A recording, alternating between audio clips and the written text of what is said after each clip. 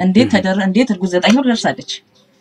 እና እንዴት እኔ እርጉዝ ሆኜ እኔ ለእኔ እንደማገዝ እንዴት ለጎረቤት አግዞትልና የቁንጫና የትኋን መድኃኒት ገዝታ አንድ ላይ ደባልቃ ዘጠኝ ወር ገብታለች እኮ። ገብታ በጥብጣ ትጠጠልም ነገር በቃ እሷን አድነው፣ ያው የነፍስ ስራ ነው። እሷን አድነው እኔን አንስተው ሊወረውሩኝ ልክ ቆሻሻው ጋር ሊጥሉኝ ሲሉ አፌ ተከፈተ። እና ያው- ያውም እኔ በመከራ ነው ያሳለፍኳት። ስዊድንን በደስታ አላውቃትም፣ በመከራ ነው ማውቃት። ግን ያን መከራ በመከራ ስትይ በመከራ ስል በህመም በቃ በሆነ በተለያየ ነገር በጣም ከባድ ነው። ምን ልበል በጣም በቃ ማለት ቅዝቃዜው ከቅዝቃዜው ውጪ ለእኔ ስዊድን ማለት የእውነት የእውነት ገዳም የገዳም ህይወት ነው። እጅግ በጣም የሚገርምክ የቅዱሳን ዝክር እየሰማሁኝ ከኢትዮጵያ መጥቼ ከእናንተ ጋር ምስክርነት ሰጥቼ ነው መሰለኝ ሳልሰጥ በፊት ነው ሰጥቼ ነው መሰለኝ እና ልክ እንደመጣሁኝ እዚህ ምርመራ ነበረኝ እና ተነስቼ ሄድኩኝ። የጡት ምርመራ አለሽ ብሎ ላኩልኝ እና በቃ ይሄ አንተ ነው ብሎ የተጻፈልህ ነው ከሆነ ምንም ነገር ከመቀበል ወደኋላ ምንም የምትለው ነገር የለም። በቃ መታገል ያለብህ ግን እግዚአብሔር ለሰው ልጅ መጥፎ ነገርን አያሸክምም። እኛ እግራችን የሚረግጥበት መጥፎ ቦታ ነው እኛን ሸክም ቆሻሻ በሽታ የሚያሸክምን እና እኔ ምንም አልፈራሁኝም። እሱ ግን እንደዛ ሲለኝ እኔ አልነገርኩትም። ቀኑን ተደብቄ ሄድኩ። በስመ አብ ወወልድ ወመንፈስ ቅዱስ አህዱ አምላክ አሜን። የተወደዳችሁና የተከበራችሁ የክርስቶስ ቤተሰቦች የእናታችን የቅድስት ድንግል ማርያም የአስራት በኩራት ልጆች ሁላችሁም በያላችሁበት ፍጹም በሆነው በጌታችን በመድኃኒታችን በኢየሱስ ክርስቶስ ሰላምታ ሁላችሁንም ሰላም ልላችሁ እወዳለሁ። ከእድሜያችን ይህንን ቀን ሰዓት፣ ደቂቃ እግዚአብሔር ባርኮ ቀድሶ ለምስጋና ያቆመን ለመድኃኒት ዓለም ክብር ምስጋና ይድረሰው። አትለይምና እናቱ እናታችን ወላዲት አምላክ እመብዙኃን ክብር ምስጋና ይድረሳት። እንኳን በዕለቱ ተዘክረው ለሚውሉ ቅዱሳን ሰማዕት፣ ደናግል፣ መነኮሳያን መታሰቢያ ክብረ በዓል በሰላምና በጤና ደረሰን አደረሳችሁ። የእግዚአብሔር ድንቅ ተአምሩን ያደረገልን የምን- የምንመሰክርበት ፕሮግራማችንን ጀምረናል። እንግዲህ በመካከላችን እህታችን ከስዊድን መጣለች። ምናልባት ለማስታወስ ያክል ከዚህ በፊት በቋንቋ አይነሽ ሚዲያ ስትመሰክር እኔ ማብሬያት ነበርኩና ዛሬ ደግሞ በእኔ አገልግሎት በዚህ በቅዱሳን ዝክር ስለሚደረገው መመስከር የምትፈልገው ብዙ ነገር ስላላት ከእሷ ጋር እንጨዋወታለን። ይህንን ምስል የምትመለከቱ ሁላችሁም በተቻላችሁ መጠን like፣ share እና subscribe እያደረጋችሁ አገልግሎቱን እንድትደግፉ በትህትና እጠይቃለሁ። እንኳን ደህና መጣሽ። እንኳን ደህና ቆየኝ። በጣም ደስ ብሎኛል። እግዚአብሔር ይስጥልኝ፣ እግዚአብሔር ያክብርልኝ። በድጋሜ ስለተገናኘን እኔም በጣም እጅግ ደስ ብሎኛል። ከረጅም ጊዜ በኋላ ማለት ነው። የእግዚአብሔር በጎ ፈቃዱ ሆኖ በጣም እጅግ የሚገርመውን የራሱ ስልክ ቁጥርሽን እፈልግ ነበረ ለማግኘት ያኔን የጥቁር እባብ እንግዲህ ከኢትዮጵያ ተነስቶ እስከ ስዊድን ሄደው በመካከል ነበርኩና በጣም ብዙ ሰዎች ደንግጠው እንዴ ጥቁር እባብ እያሉ በጣም ይደውሉልኝ ነበረ እና ዛሬ ደግሞ እንግዲህ መቼም የእግዚአብሔር ድንቅ ስራው አያልቅም። አሁንም ያደረገልን ብዙ ነው ተነግሮ አያልቅም እና በጣም ብዙ የተኙ ሰዎች አሉ። ብዙ ታመው አልጋ ላይ ያሉ አሉ። የት ቦታ ሄደው የሚተነፍሱበት የሚያጡ በጣም የተጨነቀች ነፍስ አለች በዓለም ላይ ማለት ነው እና ለዛ ሁሉ ለመድረስ እኛ በግልጥ መጠናል እንጂ በእውነት ለመታየት ለዩልን መንፈስ እንዳልሆነ በእርግጠኝነቱ መናገር ፈልጋለሁ እና ትምህርት በዓይን ይገባል እንደሚባለው በማየት ደግሞ ብዙ ነገሮች ማስተላለፍ ስለምንችል ነው። እስኪ ራሽን አስተዋውቂን። እኔ እንግዲህ ፍቅርተ ስላሴ ይባላለው። የዓለም ስሜ አዳነች ገብሬ ይባላለው። እ፣ ምስክርነቱን እንግዲህ ከስሜ እንደውም ከስሜ ብጀምር ደስ ይለኛል። ስሜ ያዳነች ነው። እንደውም አንዴ ዶክተር ሕክምና በጣም ታምሜ ሄጄ ሕክምና ላይ ዶክተሯ ምን አለችኝ እንዴት እንዳገናኘችው አላውቅም እና መታ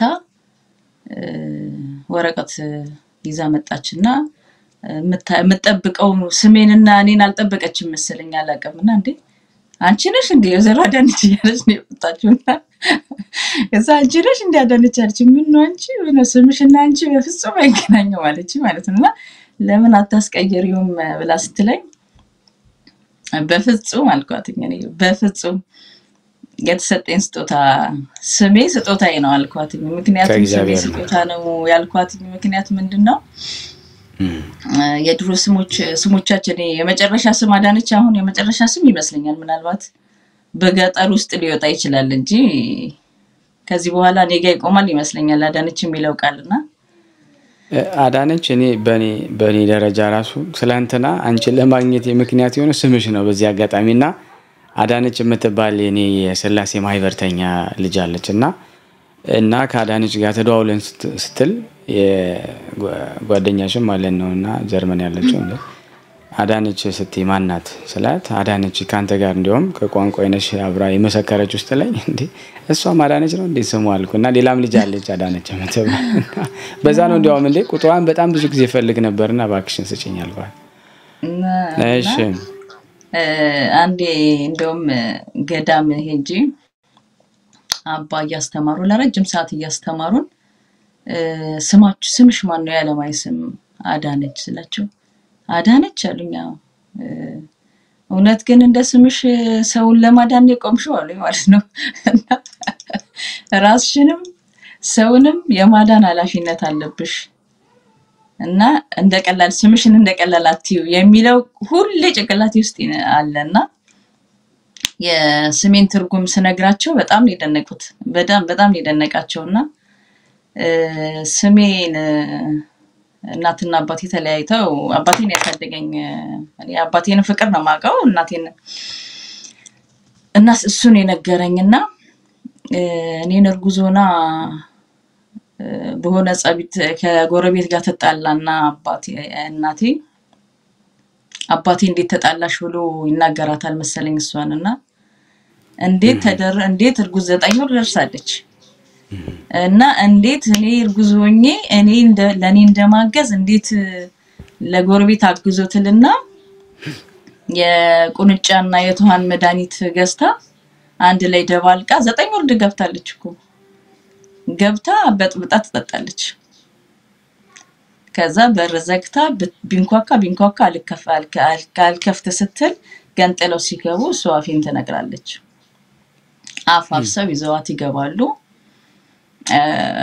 ጥቁር አንበሳ ጣሊያን ነበረ መሰለኝ ዶክተሩ ሲነግረኝ እንደነበረ እና አስገቧት። ከዛ በቃ ፈርም አሉኝ አለ። ልጅቷ በቃ እናትየው መትረፍ አለባት ልጅቷ በቃ ሲታይ ምን ሲል ምን ሲል የለሁም እኔ በቃ ልጅቷን አውጥተን እ፣ እናትየው መትረፍ አለባት ተባለ። ኦፕራሲዮን ተደረገች። ወጣ። ከዛ ቢያገላብጡኝ ባገላብጡኝ ምንም ነገር የለም። በቃ እሷን አድነው፣ ያው የነፍስ ስራ ነው። እሷን አድነው እኔን አንስተው ሊወረውሩኝ ልክ ቆሻሻው ጋር ሊጥሉኝ ሲሉ አፌ ተከፈተ አፌ ተከፈተ። ቆሻሻው ጋር ሊጥሉኝ ሲሉ አፌ ተከፈተ እና እንደውም ጣሊያኑ ነው አሉ ራሷንም እናቷንም አዳነች ብሎ አለ። ከዛ አባቴ እንግዲህ እሱ የሚያውቀው ነገር የለም ግን እናቷንም አባቷንም አዳነች ሲል አባቴ በቃ ስሙ አዳነች ነው ብሎ በዛው ስሜን ያንን አደረገ። ስምን መልአክ ያወጣዋል ማለት ይህ አይደለም? በጣም እና ለስሜ ያለኝ ቦታ ትልቅ ነው። በጣም ትልቅ ነገር ነው። አዳነች ማለት ያው እንግዲህ ከስሙ በደንብ ነው የምንረዳው እና በጣም ደስ የሚለው ጎበዝ እና ጥሩ መንፈሳዊ እንደሆንሽ እኔም በጥቂቱም ቢሆን እመሰክርልሻለሁ። እነሱ ጎበዝ ነው። ስለሆኑ ነው እንጂ እንደኔ እንኳን ደካማ ማንም የለም በእውነት። ሁላችንም ደካሞች ነን። እሱማ ከምንም በላይ ምንድነው አሁን ጎበዝ ያስባለን በስደት ዓለም ውስጥ ሆነን ክርስትናችንን ይዘን ከኛም አልፎ ለልጆቻችን መስጠት በመቻላችን ይሄ ትልቅ ተጋድሎ ነው። ምናልባት ሰማዕታቱ እንደከፈሉት ያክል አይደለንም ብለን ራሳችንን እ፣ ልንቆጥር እና ከነሱ ልንደርስ አንችልም ልንል እንችል ይሆናል ግን ባለን ነገር ጎበዝ የሚያስብለን ስራዎች አሉ እና ከዛ አንጻራዊ ሁኔታ ነው እያልኩ ያለሁት እና አሁን የት ነው የምትኖሪው? እኔ ስዊድን ነኝ ያለሁት። ስዊድን ምን ያክል ጊዜ ሆነሽ? አሁን አስራ አንድ ሆኖኛል። አስራ አንድ አመት። ስዊድንኛ በደንብ ትችያለሽ? ሞክራለሁ። ደህና ናችሁ? ምን ይባላል በእናንተ ሀገር ቋንቋ? ሩሞርዱ ሩም ሩም ወርዱን ንገሪን ንገሪን። አሁን ይህንን ፕሮግራም የሚከታተሉ ብዙ ስዊድንኛ የሚችሉ ሰዎች አሉ። አደራሽን ዛሬ ኮሜንት እንዳታሰጠኝ ይቅርብኝ። የለፈኝ ቋንቋ እናንተ ጋር እንዴት ነው? በረዶ አለ? ሙቀት ነው? እስቲ ስዊድን አሁን ለምሳሌ ስዊድን ያላቅም አንድ ቀን እግዚአብሔር ከረዳ መጥቻ አያታለሁ። አንዳንዴ በዩቲዩብ እንደዚህ በአንዳንድ ቲቪ እንትኑ ፕሮግራሞች አይቻት አውቃለሁ። ግን ስዊድን ምን ትመስላለች? እስኪ ንገሪን። ቀጥታ ወደ ፕሮግራማችን ከመሄድ በፊት ስዊድን ምናልባት መጣውም እ፣ መኖር የሚፈልጉ ሊኖሩ ይችላሉ። አይ እንደዚህ ከሆነችማ አልመጣም የሚሉ ሊኖሩ ይችላሉ። እና ስለ ስዊድን ትንሽ እስኪ ግለጫ። ስዊድን በአንድ ሁለት ደቂቃ ስዊድን ጥሩ ናት። ያው ከብርዱ ከቅዝቃዜው ውጪ በጣም ደስ የምትል ሀገር ናት። እኔ እኔ በበኩሌ ተመችቶኛል። በእውነት እውነት ለመናገር በጣም ደስ የሚል ሀገር ነው። ያው ያውም እኔ በመከራ ነው ያሳለፍኳት ስዊድንን። በደስታ አላውቃትም፣ በመከራ ነው ማውቃት። ግን ያን መከራ በመከራ ስትይ በመከራ ስል በህመም በቃ በሆነ በተለያየ ነገር በጣም ከባድ ጊዜ ነው ያሳለፍኳትኝ። ግን ያን ያሳለፍኩባትን ጊዜ ግን እግዚአብሔር ይመስገን እግዚአብሔርን እንዳውቀው እግዚአብሔር ያንን ነገር ያደረገው ብዙ ትልቅ ቦታ ላይ የሚያደርሰኝ ነገሮች እንዳለ ስለገባኝ ነው። ስለ አሁን ላይ ስረዳው እንደዛ ነው እና ምን ልበል በጣም በቃ ማለት ቅዝቃዜው ከቅዝቃዜው ውጪ ለእኔ ስዊድን ማለት የእውነት የእውነት ገዳም የገዳም ህይወት ናት።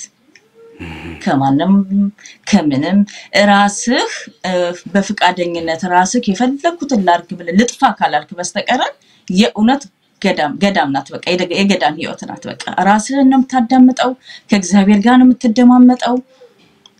በቃ ራስህ ራስህን ነው የምታገኘው። ገባ? እኔ አሁን ኢትዮጵያ ላይ ያለሁትኝና እዚህ ያለሁበትኝን ስለ ሃይማኖቴ ብትጠይቀኝ ኢትዮጵያ ላይ ያው አዎ አውቃለሁም በጣም ብዙ ገዳሞችን እሄዳለሁ። ግን ቢሄድም ብዙ የምትገባባቸው ቤቶች አሉ፣ ብዙ የምትገባባቸው ጓደኞች አሉ። ገባ ያው ሴጣንም እግርን ይጎትተዋል? በዚህ ጋር በዚህ ጋር በዛ ጋር እና ጠዋት ምንድን ነው የሚባለው? አባባል አለ። ጠዋት ተመርቶ ከሰዓት መርካቶ እንደሚባለው ጠዋት ትሄዳለህ ቤተክርስቲያን? ከሰዓት የለህም። ልክ እንደዛ እ፣ ዓለም እዛ ጋር እዚህ ጋር ታደርግሃለች እዚህ ጋር ግን በቃ ገባ ስራ ነው ገባ ወጣ የሆነ ራስ ጋር ነው እና ያለህን ነገር ለማዳመጥ ጊዜ አለክ ደስ የሚል እንትን አላትኝ ብዬ አስባለሁ በራሴ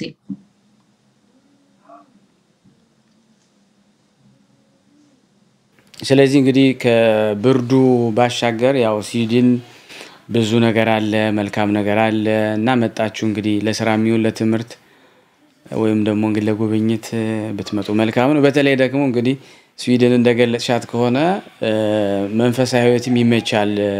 ምክንያቱም ገዳም ማለት በራሱ ሰላም ለማግኘት ከብዙ ነገር ተቆጥበን የምንቀመጥበት ከእግዚአብሔር ጋር የምንነጋገርበት ቦታ ነው እና ስዊድን ደግሞ በጸጥታዋ በሰላሟ መልካም ነች እና ኑ እያለችን ነው እንግዲህ በዚሁ አጋጣሚ ይህን ፕሮግራም የምትከታተሉ መጣችሁ ስዊድን ጎብኙ ማለት ነው።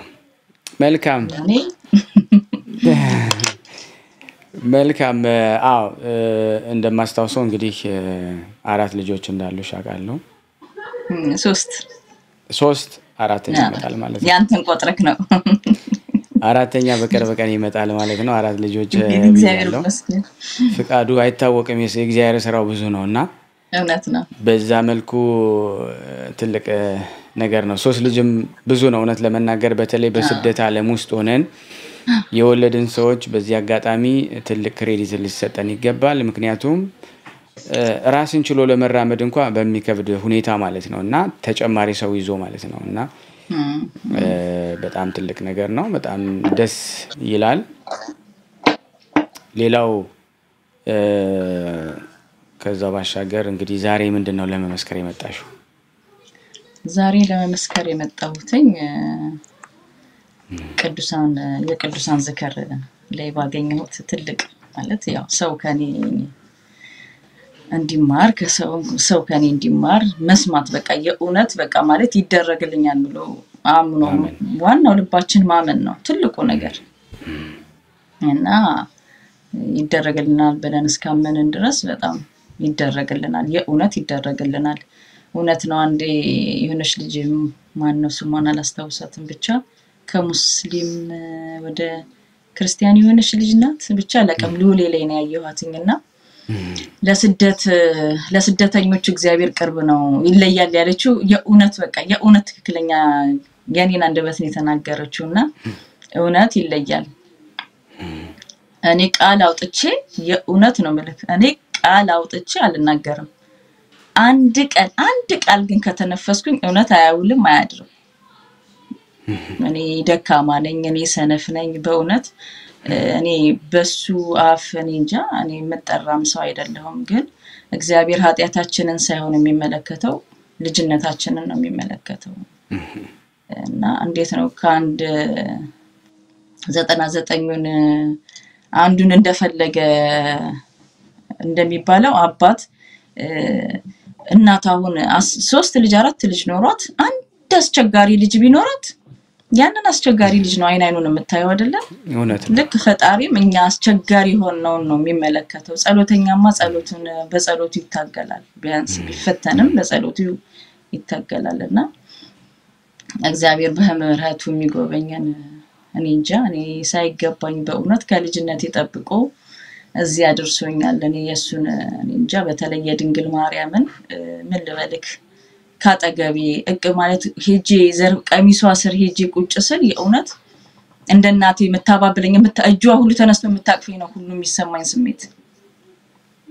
የእውነት ነው የምነግርህ። በቃ አንዳንድ የሆነ ነገር ሲሆን ሄጄ እዛ እሷ ስር ሄጄ ቁጭ ስል የሆነ እዚህ ጋር የሆነ ነገር የምተነፍ በቃ እርክት የምትለው ነገር የለም። የዛን ያህል ነው በቃ የሚሰማኝ። እና እጅግ በጣም የሚገርምክ የቅዱሳን ዝክር እየሰማሁኝ ከኢትዮጵያ መጥቼ ከእናንተ ጋር ምስክርነት ሰጥቼ ነው መሰለኝ ሳልሰጥ በፊት ነው ሰጥቼ ነው መሰለኝ እና ልክ እንደመጣሁኝ እዚህ ምርመራ ነበረኝ እና ተነስቼ ሄድኩኝ። የጡት ምርመራ አለሽ ብሎ ላኩልኝ እና ሄድኩኝ። የአመቱ ተክልዬ ነበረ የዛ ጊዜ እና እያዳመጥኩኝ ተክልዬ ነበረ የአመት ተክልዬ ነበር የሚካኤል ዕለት ነበር መሰለኝ። የአመቱ ሚካኤል ነው እንጂ የአመቱ ሚካኤል ነበር እና የአመቱ ሚካኤል አይ ተክልዬ ነው ተክልዬ ነው እና የተክልዬን ገድል ይዣለው የአቡነ ጨጌን ምስላቸውን የትም ነው ይዤ የምዞረው እና የአቡነ ጨጌን ምስል ይዣለው እና ስልኬ ላይ ነው ያለው ከበሮ ላይ ማለት ነው እና ሄድኩኝ አዩኝ አዩኝ እና ሶስት ቀን ሳይሞላው ላኩልኝ በጣም አስከፊ ነገር ይታያል ጡትሽ ላይ እና መታየት አለብሽ አሁኑኑ አስቸኳይ ምናምን ብለው ላኩልኝ ማለት ነው። ደነገጥኩኝ። ባሌ ማልቀስ ጀመረ። የሆነ ነገር ቢሆን ነው በቃ ልጁ በቃ የሆነ ነገር እኔ ከአንቺ በፊት ሲል እንዲ አንተ ምን ሆነ ነው በቃ የጻፉት ነገር ያስፈራ ሲለኝ ያስፈራ በቃ ሞት ከሆነ እኮ ሞት ነው መዘጋጀት ነው በቃ ምንም ምንድን ነው የሚያስፈራ እንዴት እንዴት ያለሽ በቃ ከሱ ጋር እዛ ምንም ይሄ የሚያስፈራ ነገር አይደለም በቃ ዋናው እግዚአብሔር በቃ ይሄ ያንተ ነው ብሎ የተጻፈልህ ነው ከሆነ ምንም ነገር ከመቀበል ወደኋላ ምንም የምትለው ነገር የለም። በቃ መታገል ያለብህ ግን እግዚአብሔር ለሰው ልጅ መጥፎ ነገርን አያሸክምም። እኛ እግራችን የሚረግጥበት መጥፎ ቦታ ነው እኛን ሸክም ቆሻሻ በሽታ የሚያሸክምን እና እኔ ምንም አልፈራሁኝም። እሱ ግን እንደዛ ሲለኝ እኔ አልነገርኩትም። ቀኑን ተደብቄ ሄድኩኝ ልከተልሽ ሲለኝ እና ተነስቼ ሄድኩኝ። አዩኝ፣ አይተውኝ ድጋሚም እንዳትሄጂ ስፔሻል ዶክተር ማየት አለበት አለችኝ። ጠበቅኳት። ከዛ ሶስት ሆነው መጡ ከአንድ ሰዓት በኋላ።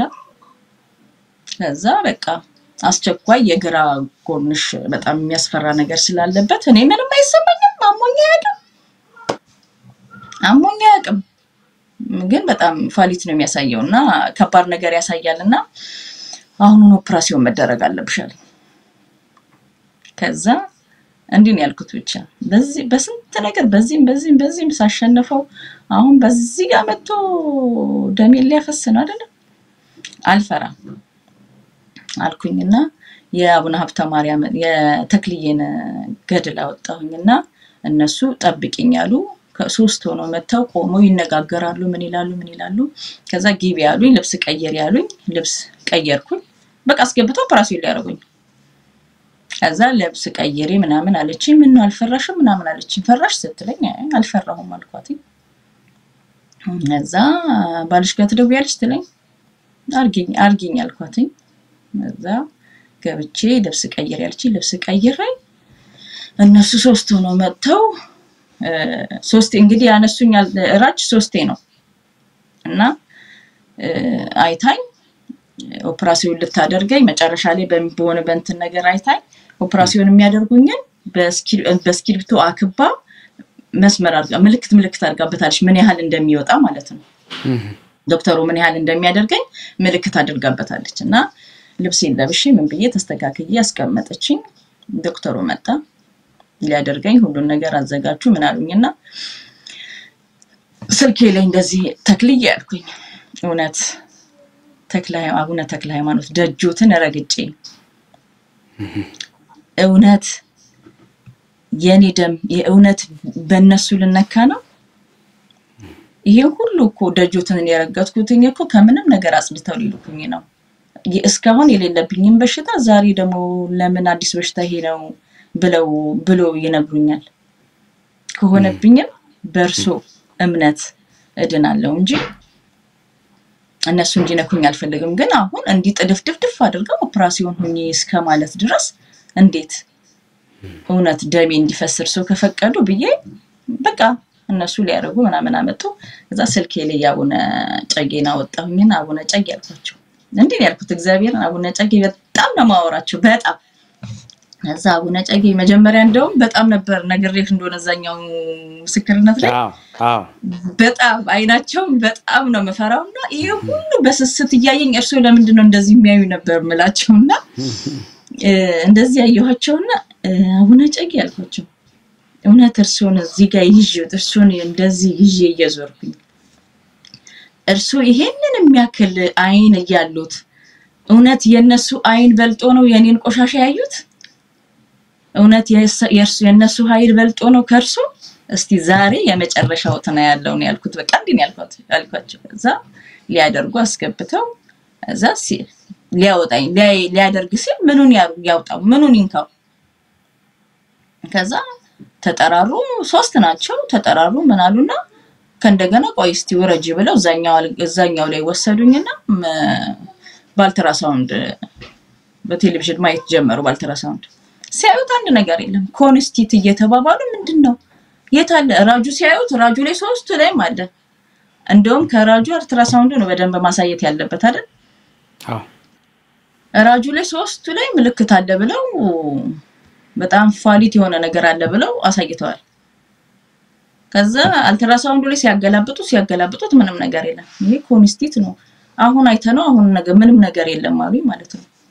ምንም አላልኳቸው። አርጉኛ አልኳቸው። ምኑን እናድርገው? ምንም ነገር የለም አሉኝ። ከዛ ቀና ብዬ ስልኬን አንስቼ እንዲህ ነው ያልኩት። አቡነ ጨጌ ጋር አወራሁኝና ሰላም ለኪ ደግሜ እግዚአብሔር ሰላም ለኪ ደግሜ እነሱ ሲያወሩ ምን ሲሉ እኔ እያወሩኝ እኔ ሰላም ለኪ ነው የማወራው እና እስቲ በቃ ለማንኛውም ደምሽን ወስደን ማየት እንችላለን፣ ደምሽን ወስደን እኔ አሉኝ ማለት ነው። ደሜን አላገኝ ሲሉት ደግሞ በመርፌ ሊወስዱት ነው አልኩና ፕሩቭ እናድርግ ወስደን ብለው ደሜን ቀርተው ወሰዱ።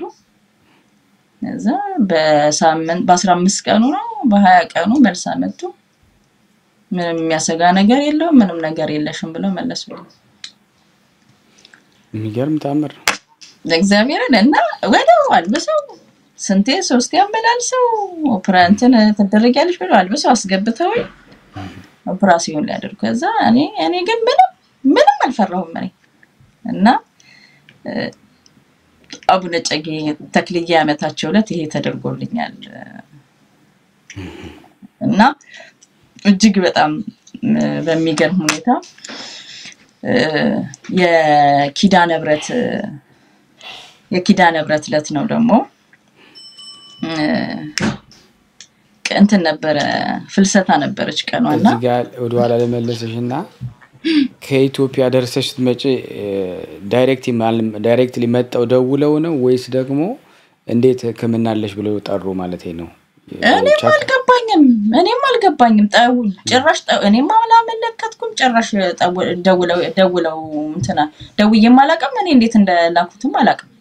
ይገርማል በጣም ከዛ ምንም ያንን ኦፕራሲዮን ከመደረግ አተረፈኝ ማለት ነው። እና እመቤታችን እ፣ የኪዳነ ምሕረት ፍልሰታ ቀን ነበረች እና ፍልሰታን በጣም በፍቅር ነው መወዳት። በጣም የሚሰማኝ ስሜት እና ሁሌ ግን እላታለሁ በደጅሽ አድርጌኝ በቃ ፍልሰታ ወይ ጥምቀትን እና ፍልሰታን እንደው አንድ ቀን ተሳክቶልኝ በኢትዮጵያ ቢሆን ደስ ይለኛል ነበር ማለት ነው። እና እንደ አጋጣሚ ሆኖ ህፃን ሆና ልጄ ትንሽ ሆና ፍልሰታን ሄደን አስቀድሰን ጠዋት ትዬ ወተን እዛው አስቀድሰን እዛው ትምህርት ተምረን ብቻ ማታ ነው አምሽተን የምንመጣው። ከልጄ ከልጆቼ ጋር ማለት ነው። እና ትምህርትም የለም ነበር አጋጣሚ። እና ቤት ውስጥ ሌሊት መነሳት ስለለመድኩኝ እዛ ከዛ መጥቼ ልክ ስድስት ሰዓት ላይ ነው አስተኝቻት። አለቀሰች እና ልክ ስገባ ባለቤቴ ደግሞ ነገ ሙሉ ቀን ነው የምውለው እና በእናትሽ ምሳ ሲለኝ እንደዚህ አይነት ነገር ሲሆን አስቀምጣለሁ ቁሌት ምናምን ሰርቼ ቀለል እንዲለኝ ስገባ እና ለሱ ፍርፍር በቃ እኔ ሌላ ነገር አልሰራም አልኩት። ፍርፍር ነው ማድረግልክ ምክንያቱም ደግሞኛል። ጠዋት የወጣሁኝ ማታ ነው የገባሁትኝ አራት ሰዓት ቤቴ ማለት ነው። እና በቃ ፍርፍር ነው ማድረግልህ ብዬ ለሱ ድስት ላይ በትንሹ በብርጭቆ አድርጌ ቁሌት አድርጌ ፍርፍር ላፈረፍርለት። ልጆቼ ሳሎን ፊልም እያዩ ነበር እና አለቀሰች። ጥጄዋለሁ እሳቱን። ልጄ ያለቀሰች ከዛ ልጄ ስታለቅስ እሷን ላባብል ገባሁኝ ድካም አይደለ? እንቅልፍ ይዞኝ። ከዛ እንቅልፍ ይዞኝ ሄዷል። እግዚአብሔር ምስክሬ ነው። በጣም እስካሁን ድረስ እኔ እስካሁን ድረስ ይሰቀጥጠኛል። በቃ ሳስበው ራሱ ማለት ነው ቀኑን። እና እኔም ባለቤቴም ስልካችን vibrate ተጠቅመን አናውቅም። እና ተኝቼ ጆሮዬ ውስጥ እዚህ ጋር የሚል ድምፅ ነው የሚሰማኝ ሶስቴ። እዛ ብድግ አልኩና እንዴ እንዴት ነው ዛሬ ሳሚ እንዴት ነው እ፣ ስልክን ቫይብሬ ሳይ የእሱ ስልክ አይጮህም የኔም ስልክ አይጮህም። እንዴ ምን ሆኖ ድስቱ ትዝ ላይ ነው። አሁንም መልሼ ለጥ ከዛ ተኝቼ ወዲያው አሁንም እግዚአብሔር ምስክሬ ነው ቤተ ክርስቲያን የደውል ድምፅ የለም ኪል ኪል ኪል ሶስቴ ነው ጆሮዬ ላይ ኪል ኪል ኪል ኪል ኪል ሲጮህ ደነገጥኩ። ቤተክርስቲያን ውስጥ የተኛው መስሎኝ ይህ መብርሃን ቤተክርስቲያን የተኛው ብዬ ስል ብድግ ስል ቤት ነው ያለሁት። እንዴ ለምንድን ነው እንደዚህ የሰማሁትኝ ግን አልኩና ምናልባት ስድስት ሰዓት ስላስለመድኩሽ ነው እዛ እኮ ውዬ ስለመጣሁ ነው ከእሷ ጋር አውርቼ ብቻ ስድስት ሰዓት ስላስለመድኩሽ ነው ጸሎት መብርሃን ያንን ያሰብኩትኝ እኔ እና ስድስት ሰዓት እኮ ስድስት ሰዓት ስላስለመድኩሽ ነው ጸሎት ያው እዛ እኮ ቤተክርስቲያን ጨርሼ መጥቼ ነው ብዬ ነው ብዬ መልሼ ለጥ ለሶስተኛ ማለት ነው። እግዚአብሔር ምስክሬ ነው። አረ ድስቱን የሰማሁት ብልህ ታምነኛለህ? መድኃኒዓለም ምስክሬ ነው። ጆሮዬ ላይ አረ ድስቱ የሚል ድምፅ ስሰማ ከአልጋዬ ላይ እንዴት ብዬ እንደዘለልኩ ልነግርህ አልችልም። ስገባ ሾኬቱን ማየት አትችልም። ጨለማ፣ እሳት በጭስ ጭልም ብሏል። ልጆቼን አያቸዋለሁ፣ የሉም። ሳሎን መኝታ ቤታቸው ገብተዋል። እዚህ ደግሞ በጣም የሚያስጠላ ሾኬቱ ፊት ለፊት ነው፣ አንተ ያለው ከኋላ ነው። አምልጠህ ሉጣ እንኳን አትልም። የእሳቱ ቀድሞህ ነው ያለው እና ያለኝ አማራጭ ራሴ መስዋዕት ራሴ መስዋዕት ሆኜ ገብቼ የመጣውን መቀበል ነው። ገብቼ በጨለማ ብቻ አይታይም ምንም ነገር፣ መብራቱን ማብረቻው አይታይም ምንም ነገር እና መብራቱ በርቷል፣ ግን ጨለማ ሆኗል። በቃ ጭሱ ማለት ነው። እንደምንም ቦታው ላይ ሄጄ ነው ያጠፋሁትኝ። መብራቱ ሄጄ ያጠፋሁትኝ።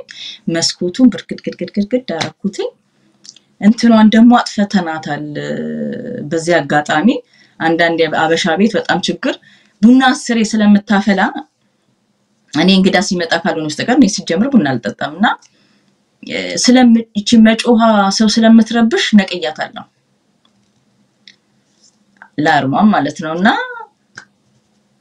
በሩን ከፋፈትኩኝ። ልቤ ግን በዚህ ልትወጣ በቃ መተንፈስ ሁሉ አቃተኝ፣ ጭሱ ማለት ነው እና መተንፈስ ሁሉ አቃተኝ። በቃ መተንፈስ ሁሉ አቃተኝ። ልጆቼን ሄጄን ያየኋቸው እነሱ አለም ዘጠኝ ብሎ ተኝተዋል። እኔ ግን መስኮቱን ከፋፍቼ ምን ብዬ እውነት በቃ ምን ልበልህ፣ ያ ውሃው አልቆ ክሰሉ በቃ ክሰል ክሰል በቃ እንትን ምግቡ ክሰል ሆኖ ድስቱ እንኳን የከፋ ደረጃ አልደረሰም። የሚገርምክና በቃ ሳስበው ራሱ ይሰቀጥጠኛል ማለት ምንድነው ቫይብሬት ድምፅ ከመስማቱ ሶስቴን የሰማሁት አልነቃ ብዬ ከዛ እሱን ራሱ ለመጀመሪያ ጊዜ መድኃኒዓለም ቤተክርስቲያን እሱንም ሰው መስክሩልኝ ብዬ አስመዘከርኩኝ። በቃ እንዴት አላድርም ብዬ ምክንያቱም ነገ ኪዳነ ምሕረት ናት። አስበው ነገ ኪዳነ ምሕረት ነው እንደዚህ ሆነው እና ከስልኩ ከቫይብሬት መስማቱ ከእንደገና የደውል ድምፅ መስማቴ እሱንም አልባነን ብዬ አረ ድስቱ የሚል ድምፅን የሰማሁትኝና እንዴት እንደነቃሁኝ እንዴት እንደነቃሁኝ አጠይቀኝና ኪዳነ ምሕረት በዕለተ ቀኗ ወላዲተ አምላክ እሱን አድርጋልኛለች። ከመቃጠል በዚህ በሰው ሀገር ቃለ ሕይወት ያሰማልን። በእውነት ቃለ ሕይወት ያሰማልን። የሚገርም ምስክርነት ነው እየሰጣችሁን ያላችሁት። እንግዲህ ይህን ፕሮግራም የሚከታተሉ አንድም ከእግዚአብሔር የሚያደርገውን ተአምር እንዲሁም ደግሞ በዛ ውስጥ ደግሞ እኛም ማድረግ ያለብንን ጥንቃቄ እግዚአብሔርም እንዴት አድርጎ እንደሚጎበኝን ምክንያቱም ያው ነጮች ሲሰሩ ይጠበባሉ። ታውቂያለሽ እያንዳንዷን ነገር ያሁን አላርሙ ቅድም እግዚአብሔር አንቺ ረድቶሽ አሁን ብዙ ሰዎች እንዲያውም በዚህ ረድፍ ብዙ ምስክርነት አይቻለሁ። በተለይ ብዙ ቀን እላለሁ ሻማ መልካም ነበረ ተከታትለን አይተነው ብናበራ ኖሮ፣ ካልሆነ ግን ሻማ እንዲያበሩን አልጋብዝም። ለምን ይረሳል። በተለይ በስደት ዓለም ላይ በተለይ አረብ ሀገር ላሉ እህት ወንድሞችን ያልጋብዛቸውም ይረሳሉ። ሀሰን ከማል ሲጠራቸው ይሄዳሉ። ከዛ በኋላ ያስቀመጡበት ቦታ ደግሞ ይወስነዋል ሻሙ ያለበት ቦታ እና ጥንቃቄ እንግዲህ እግዚአብሔርን አምላክን አትፈታተን አይደለ? አንዳንድ ጊዜ እግዚአብሔርን ማምለክ ፈልገን ደግሞ እግዚአብሔር መፈተን እንዳይሆንብን እንደዚህ አይነት ነገሮችን መጠንቀቅ ያስፈልጋል። እግዚአብሔር ግን የሚጠብቀኝ አይተኛም አያንቀላፋም። በእህታችን ላይ እየሰማችሁት ነው። በመጀመሪያው እንግዲህ በስልኳ ላይ ደውል አድርጋ አታውቅም። በደውል ጠራት፣ አልሰማችም። እንደኔ ነች፣ ተሎ ነገር አይገባትም። ሁለተኛ ደግሞ እንደገና ደግሞ በደውል በቃጭል ቢጠራትም አላስተዋለችም። በሶስተኛ እንግዲህ በቃል በምትሰማው ኧረ ድስቱን እባክሽን እየሰራሽ ያለሽውን ረስተሻል ተብላ ተቀስቅሳ ሄዳ አጥፍታ ከተዘጋጀባት ከዳቢሎስ ወጥመድ እግዚአብሔር ያሳያችሁ። ዲያቢሎስ እኔና እናንተን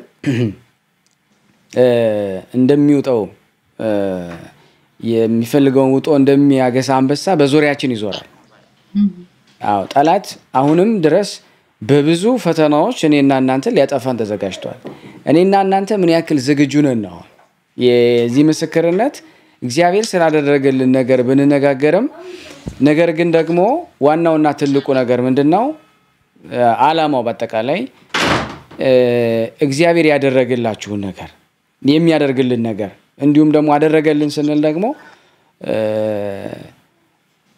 እንደው በዘፈቀደ ሳይሆን የተደረገልን ነገር ማስተዋል አለብን። አሁን እሷም የመጣችበት የተደረገላትን ነገር ሌላም አሁን ይህን ሲሰሙ ብዙ ሰዎች በአንቺ ምክንያት ይመጣሉ ለመመስከር ማለት ነው። እግዚአብሔር እንዲመሰከርለት ይፈልጋል። ቅዱስ ጴጥሮስ ምንድን ነው ያለው? መስቀልን ይዞ ሮም ላይ የጎተታ አገኘው አይደለም? ጌታ ሆይ ለምን ትላንት ተሰቅለህ አልነበርክ ስለው እዚህ የሚመሰክርልኝ ሰው አጣሁ። በአሁኑ ዘመን እግዚአብሔር ያደረገውን ነገር ምስክርነት በጣም ይፈልጋል። የተደረገልን ገድልን ተጋድሎሽን ማለት ነው በአጠቃላይ ያንቺን ተጋድሎ ሌሎች ሰዎች ማወቅ ይፈልጋሉ፣ መስማት። እግዚአብሔርም ይህን ያደርጋል። አሁን ዛሬ የታመሙ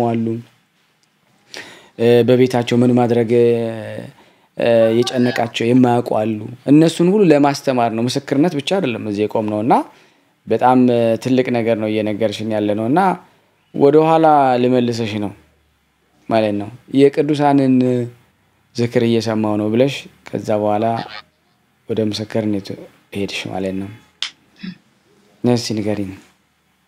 እኛ የቅዱሳን ዝክር እየሰማው ትልቁ መጨረሻ ላይ ትልቁ ላይ መጨረሻውን እሱን ልዘጋበት ነው እና የቅዱሳን ዝክር የሚገርም ሁሌ እኔ ሁሉንም ሰማለሁ ሁሌም ሰማለሁ እና እም፣ እ፣ በስነ ስርዓት ደግሞ እየሰማሁትኝ ልጄ እርጉዝ ሆና አሁን የዛሬ ስምንት ወር ማለት ነው ሰባት ወር እና ገባች ልታ- ልትወልድ ገባች። በአስራ አምስት ነበር የገባችው በአስራ አራት ወደ ማታ ጀመራት።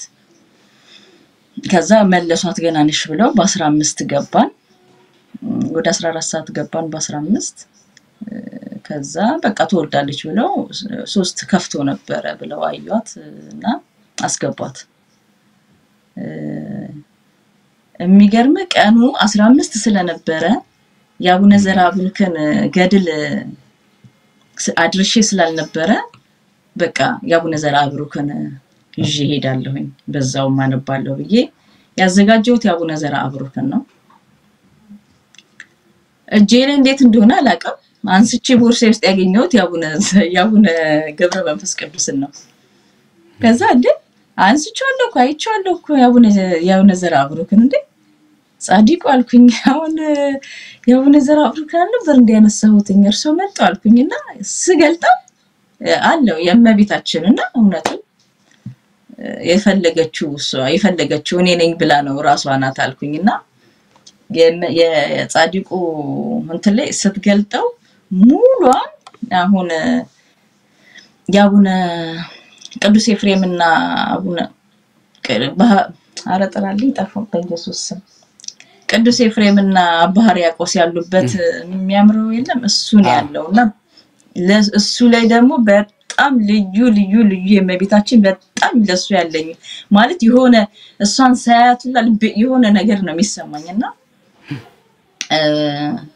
ልክ ሳያት ውይ እንደው ተከትለሽኝ ልትመጪ ነው? የቀየርሽው ራስሽ ነሽ አልኩኝ። በቃ ተቀይረሽ ቀይረሽው የመጣሽው እኔ ያነሳሁት የአቡነ ዘርአብሩክን ነው።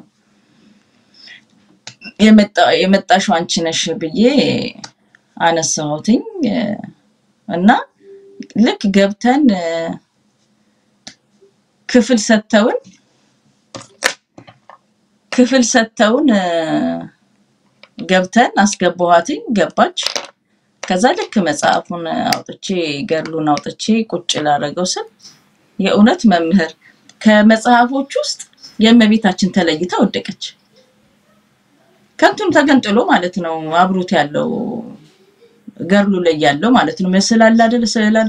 የጻዲቁ የመድኃኔዓለም አለበት ላዩ ላይ ማለት ነው እንትኑ ላይ ማለት ነው ገድሉ ላይ እና ተለይቶ ተገንጥሎ ተለይቶ የእመቤታችን ብቻ ወደቀች መሬት። ከዛ ወይኔ አልኩኝ፣ እውነትም ይችን ምክንያትማ የሆነ ነገር አላት አልኩና አነሳሁኝና ከዶክተሮቹ ፊት ለፊት ዶክተሮቹ የሚቀመጠ እዚህ ጋር እነሱ እቃ የሚያነሱባት ምናምን የሚያነሱባት ጋር ይሄ ያለ ምክንያት ተከትለሽኝ አልመጣሽም። እዚህ ጋር እጃቸው ላይ አንቺ ሁኚ ብዬ አስቀመጥኳት ፊት ለፊት እመቤታችንን ልጄ ፊት ለፊት ሆነ አልጋዋ ላይ ፊት ለፊት አልጋዋ ላይ ሳይሆን የሚያዋልዱት ፊት ለፊት ዶክተሮቹ ፊት ለፊት የሚቀመጡበት አስቀመጥኩኝ እና የቅዱሳን ዝክር ነው የኪዳነ ምሕረትን መጀመሪያ የቂርቆስን ሰማን። የቂርቆስ እንዳለቀ የኪዳነ- እ፣ መስማት ጀመርን። የኪዳነ ምሕረትን እየሰማን ብቻ የቂርቆስን ከሰማን በኋላ የሰይፈ ስላሴ ሰይፈ ስላሴን ሰማን። ከዛ ከሰይፈ ስላሴ ዛሬ ኪዳነ ምሕረት ናት አልኩና የኪዳነ ምሕረትን ከፍቼ እየሰማን ተኝታ ነበረ። ከዛ ልክ በጣም ኃይለኛ ምጥ በቃ ምጧ መጣ ማለት ነው። ከዛ ልክ ምጧ ሲመጣ አየኋትኝ። እስከዛ ድረስ ተኝታ ነበር። የሆነ ዝም ብሎ የሚሰማት የሆነ ነገር ምናምን ነው እንጂ ኃይለኛ ምጥ ምናምን የለም። ከዛ ሳስበው እኔ መውለድን ሳስበው እኔ እስካሁን ድረስ እላለሁ ሁለቱን ልጆቼን እንደወለድኩኝ እቺ ሶስተኛዋ ልጄን ስወልዳት የተሰማኝ ስሜት ቢኖር ኖሮ በአንድ ነበር የምቀረውል ነበረ። በጣም በጣም ነበረ እና እስቲል ስለመውለድ ሳስብ ያችን ህመም እፈራታለሁ እና ቀዘገነረኝ እና እንዲህ ነው ያልኩት። ብቻ መብርሃን አልኳት ለእኔ የፈራሁትን ግን እዚህ ጋር የልጅን ነገር ታውቂዋለሽ። እንዲህ ነው ያልኳት። በቃ ቆምኩና መብርሃን አልኳት የልጅን ህመም የልጅን ነገር ታውቂዋለሽ። ትኩሳት እንኳን ሲይዛቸው እንዴት እንደሚያደርግና እዚህ ቆሜ ጭንቀቷን እንዳዳምጥ ጭንቀቷን እንዳይ እኔ የፈረድሽብኝ ያልኳት በቃ እንዴ ያልኳት። እና ቆሜ ግን ቀላሉን አድርጊልኝ። በቃ ምንም ነገር እንትን ማለት ሳይሆን አልጠይቅሽም። ብቻ ግን ቀላሉን አድርጌልኝ ምክንያቱም ትኩሳት የልጅን የልጅን መከራ ማየት ትኩሳቷን እንኳን ይከብዳል አይደለም ምጥን ያህል ጭንቅ ማየት እና በጣም እና እመብርሃን አልኳት። እኔ ማለት ሳልነግርሽ ነው ሁሉን ነገር አዋቂ የምታቂልኝ፣ ግን ዛሬ ግን አፍ አውጥቼ የምጠይቅሽ ጥያቄ ይሄንን ነው አልኳት። በቃ የልጅን ጭንቀት እኔ የፈራሁትን ምጥ ቆመሽ አታሳይኝ፣ አታሰቃይኝ እመብርሃን አልኳት። እግዚአብሔር ምስክሬ ነው። የቅዱሳን ዝክርን ከፍቼ የኪዳነ ምሕረትን ጨርሰን አስቀምጬላት ነበረ በብርጭቆ ውሃ አስቀምጬ ሶስት ጊዜ እፍ አልኩኝና ሆዷን ድበስብስ ብስ አረኩኝና እኔም ሶስቴ ጠጣሁኝ። እሷንም ጠጪው እንዳለ መብርሃን ታረድሻለች፣ ዶክተር አይደለም ያዋለድሽ አልኩና ጠጭበት ከዛ እውነት ዶክተር ሶስት ነው ከፈተ ያሏት ከመቀስፈት ስድስት ደረሰ። ከዛ ደግሞ ወዲያውኑ ስምንት ስምንት ወጣ። ከዛ ስምንት ላይ ግን ይሄ በጣም ኃይለኛው ሲወጣ ኃይለኛው አለ? እሱ የሚያስፈልጋት ሰዓት ላይ ግን መርፌ ውጉኛለች። ያን ሁሉ ጦርነት እኔ መርፌ እንዳትወጋ ነው እና እንዳትወጊ ማደንዘዣውን አልኳትን ስላት በቃ እሷ እች- እችም ነፍስ ካልተወጋው ስትልኝ ተይ አትወጊ እላታለሁ። እነሱ ያው ስለሚያበረታቷት ያው እነሱ ደግሞ እሷ ደግሞ ያው የዚህ ሀገር ያው ልጅ ፔሪዱራል እነሱ ነው የሚሉት ይሄ የሚሰሙ ከአንተን አትሰሙ በወገብ በኩል የሚሰጥ አለ ማደንዘዣ ከእግር ከወገብ በታች አዎ፣ እኔ ስለማውቀው ነው የምነግርሽ ህመሙን አትውሰጂ እመብርሃን ትረዳሻለች ምናምን ስላት እነሱ ደግሞ ትትትትት ሲሏት ውጉኝ አለቻቸው። ሁለት ቀርቷት እኮ ነው ስምንት ደርሳለች እኮ። ከዛ ስምንት ላይ በቃ ወጋች። እሱ ጠቀመ አጉል ነው የሆንሽው አልኳት። እግዚአብሔር ይርዳሽ እንዳያምሽ እንጂ ምንም እንትን አይልም። ግን በቃ ከዛ ወዲያውኑ ወቅተዋት ገና እየጀመራትኝ እኮ ነው እየጀመራትኝ ተይ አትወጊ፣ አሁን እግዚአብሔርን ትወልጃለሽ ተይ ስላት በፍጹም ወገን በቃ ይሄ ማለት አን ነብስ ውጪ ነብስ ውጪውን አቃታት። በቃ ረጅም የሚሆን መሰላትኝና አልችልም ማለችም። ከዛ እሺ በቃ አድርጊው አልኳትኝና ልክ ምጡ ሊመጣ እንትን በቃ እያፋፈሲም እመብርሃን አልኳትኝ በቃ ከዛ እሷም ደግሞ ቅረጪኝ ማ- ማየት ስለምፈልግ ቅረጪኝ ብላኛለች። ከ- ከዛ ስልኩን ከፈትኩና ወላዲት አምላክ አልኳት የጭንቅን አምላክ ጭንቅን የምታቂ ጭንቅን አዎ፣ የጭንቅን ሚስጥር ታውቂዋለሽ አልኳት። እሷ ከምትወልደው እኔ እዚህ ጋር የቆምኩት እበልጣለሁና እባክሽን ቁሚልኝ ከፊቴ ነው ያልኳትኝ። በቃ እግዚአብሔር ምስክሬ ነው። እያየኋትኝ ልጅቷ ብርግድ ብላ ወጣች። ምን የለ ምን የለ በቃ ማመን ሰው ቆሞ ቪዲዮ ይቀርጻል። እኔ ቆሜ በርትቼ ቆሜ ቪዲዮ ቀርጻለሁ። ምንም ይገርማል በጣም እግዚአብሔር ምንም ምንም በቃ ምንም ሳይመስላት እመብርሃን እመብርሃን እንደው ጭንቀቷን አደራሽን እመብርሃን እመብርሃን እያልኩኝ እውነት ዶክተሯ ራሷ ገረም ብሏት በቃ ምንድነው ሰውነትሽ ስፖርት የእውነትም ስፖርት ሰራ ነበረ፣ ግን ያ የስፖርት ጉዳይ አይደለም የመብርሃን ሚስጥር እንጂ ምጥን ምንም ሊጋርደው አይችለውም። እና እንዲህ የቀለለሽ ስፖርት ስለምትሰሪ ነው ወይ ደድድድድድድድድ ብለው አሏት።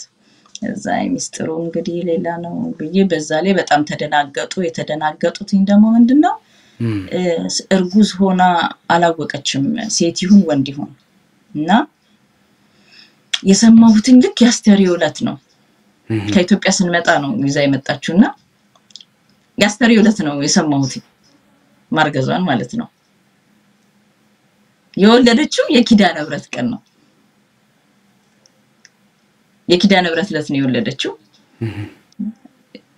ከዛ ልክ ልትወልድ አራት ወር አምስት ወር ነው ሲቀራት ቤቢ ሻወር እናድርግ ብለው ጓደኞቿ ንገሪ ምናምን ብለው ጥድፍ ሲያደርጉኝ ምን አረኳቸው? እኔ ሴት መሆኗን አውቄያለሁ እኮ።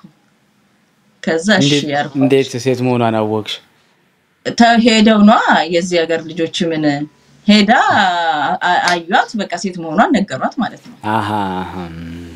ከዛ ደብዳቤው ለኔ ደብዳቤው ለኔ ሰጠችኝ ማለት ነው። ከዛ እኔ በሙሉ ከደብዳቤው በፊት ግን ያ እንደሚሆን በሙሉ እርግጠኛ ነኝ። ከዛ ተቀበልኳትና ስትገ እሷ ደግሞ ገና ገና ገና ገና ስትጸንስ ሴት ናት። ሄ- ስሟም ሄሜን ነው ብላለች። እና አንድ አሻንጉሊት አለች። እሷን እያነሳቻት ሄሜን ትመጣለች እያለች ልጅቷ ነው እና መሳሳቷ በጣም ውስጤን እንትን አለኝ ከበደኝ ለኔ አንድ ነገር ቢፈጠር እቺ ልጅ ቅስሟ ሊሰበር ነው አይደል? ደግሞ ከስንት ነገር ነው የዳነችልኝ ጭራሽ ሆኖ ደግሞ ቅስሟ ቅስሟ ሊሰበርብኝ ነው አልኩኝ። እና አጋንንት መቼስ መብራን ስለቀየረችው ነው እንጂ የአጋንንት ሴራ እኮ እሱ ያስበው በቃ ሌላ ሌላ ነገር ውስጥ ነው እኮ አስገብቶ ሊያመጣት የነበረው። እግዚአብሔር ምክንያት እግዚአብሔር በሌላ ነገር ቀይሮ በበጎ ቀየረው እና ከዛ ምን አደረግኳቸው ጓደኞቹ ንገሪኝ በሚስጥር ሲሉኝ እንዴ ለምን ነግራቸዋለሁ ሁለ ሁላችሁ ሚስጥር ነው አልኳቸው። እና ሁሉንም ሰብስቤ እጣ እጣ ጽፌ ለሁሉም እጣ ጽፌ ሰጠኋቸው ለጓደኞቿ እና ስንት ሁሉንም ወንድ ወንድ ሴት ሴት ሴት ሴት አድርጌ አንድ ወንድ አደረኩኝ ማለት ነው። ከዛ የበዛ ነው ትንሽ የሆነ ሲሉ ትንሽ የሆነው በቃ ነው አልኳቸው ማለት ነው። ከዛ ሲገልጹ ወንድ ሲገልጡት ወንድ ሲገልጡት ወንድ እሷ ልቧ እየመታ መጣ። ምክንያቱም የምትፈልገው ሴት ነው ነበር እና ልቧ እየመታ ሰባት ላይ ሲደርስ ግን በቃ እንትን አለች በቃ ተስፋ ቆረጠች። ከዛ ልክ መጨረሻ ላይ ሴት ወንድ የደረሰው ሴት ሴት ሴት ሴት ሴት ነው የሚሆነው እና ሁሉም ሴት ሴት ሴት ብዬ ጽፌ አንድ ወንድ ነው የጻፉት እና አንድ ወንድ ሲደርስ ወንድ ነው አለች። አዎ ወንድ ነው። ጮሁ፣ ተጫዋጫሁ ጓደኞቿ። እሷ ግን አዘነች። ግን ጤነኛ ይሁን ለማንኛውም እግዚአብሔር ይመስገን ይቅር በለኝ ጤነኛ ልጅ ይሁን ምናምን አለች። ልክ እንደመጣች አሻንጉሊቷን አንስታ ወረወረቻት። የምትፈልገው ሴት ነበረ። ገዛ በቃ ወንድ ነው በቃ የኔ ልጅ ምናምን አለች። ለዛ እኔ ምንድን ነው ያሰብኩት በቃ ከጭንቋ በኋላ የምትፈልገውን ስታገኝ አዲስ ሰው ትሆናለች። ገባ ህመሟን ትረሳዋለች። ከዛ ልክ አውጥተው ዶክተሮቿ ሲያሳቅፏት ዶክተሮቹ ራሳቸው ደነገጡ። ለምን የምትወ- የምትወልደው ወንድ ነው ብለው ስለጠበቁ ሊከሱ እነዛ ፖስታ የሰጡትን ማለት ነው። ከዛ አይ እኔ ነኝ እስኮ እያያረኩት አልኳቸው። ለምን ሲሉኝ በቃ አውቄ ደስ እንዲላት አሁን ላይ ይኸው ደስታዋ አሁን ነው አልኳቸው። ያኔ ነግሬያት ቢሆን ነበር ያልቅ ነበረ።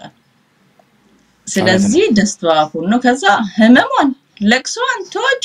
በቃ መሳቅ በቃ በደስታ ሞተች። በቃ እውነት ሴት ነው አለች። አዎ ሄሜንን ነው የወለድሻት አልኳት። እንግዲህ መብርሃን አለች። በቃ ሄሜንን ራሷን ነው የወለድሽው ብዬ የቅዱሳን ዝክር በትልቁ በትልቁ የቅዱሳን ዝክር ሰዎች እውነት እውነት ተጠቀሙበት።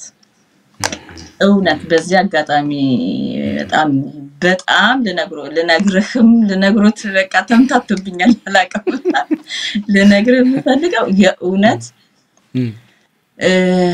ሎሌ በጣም እግዜር ይስጠው በእውነት አበረታቶኝ ያለውን ሚስጥር አውጥቶልኝ ያለውን ነገር እንድናገር አድርጎኛል። ምስክርነት እጅግ በጣም በእውነት እጅግ በጣም በቃ እግዚአብሔር ጸጋውን ያብዛ- ያብዛላችሁ።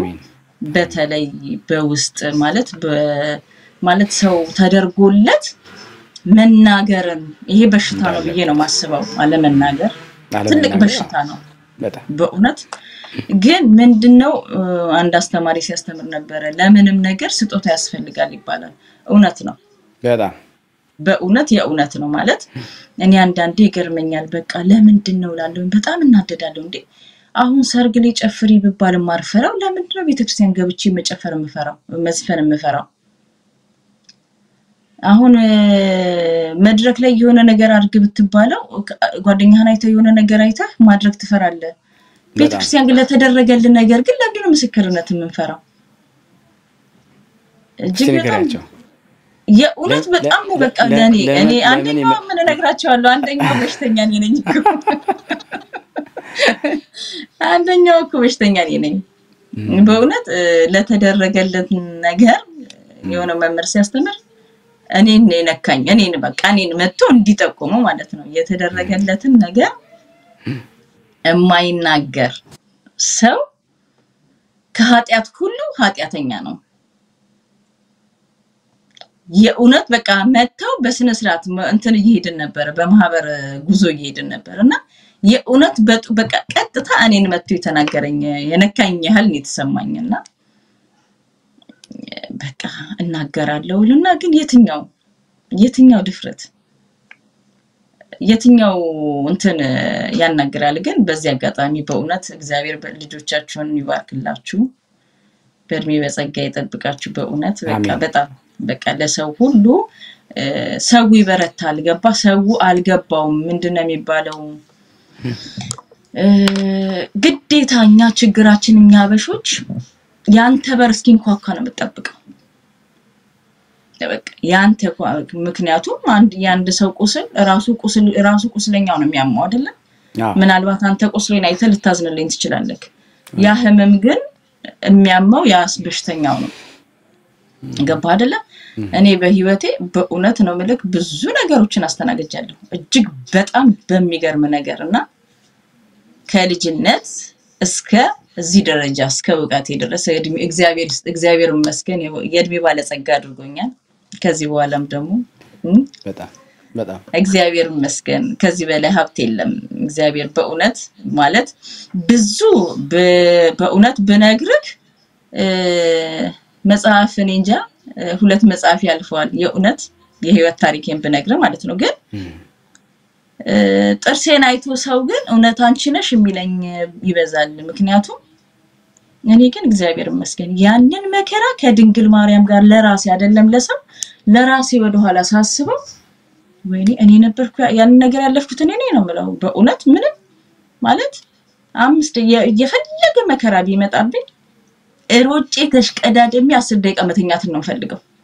ከዛ በተረፈ የሰው ታሪክ ነው የሚመስለኝ ያ ታሪክ ማለት ነው። በተለይ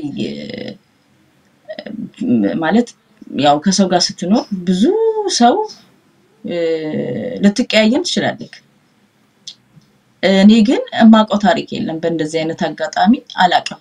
በእውነት ራሴን በማውቀው ማለት ነው። እና አሁን ላይ ግን ሳየው ወይኔ ጉዴ እላለሁ። በቃ ማለት ምንም ነገር የለም፣ ምንም ነገር እንትን የምትለው ነገር የለም። ግን የሚታገልህ በዙሪያህ ያለውን አጠገብህ ያለውን ሰው ሊያረቅህብህ የሚፈልገው አንደኛ እራሳችን ላይ ያለው ይመስለኛል።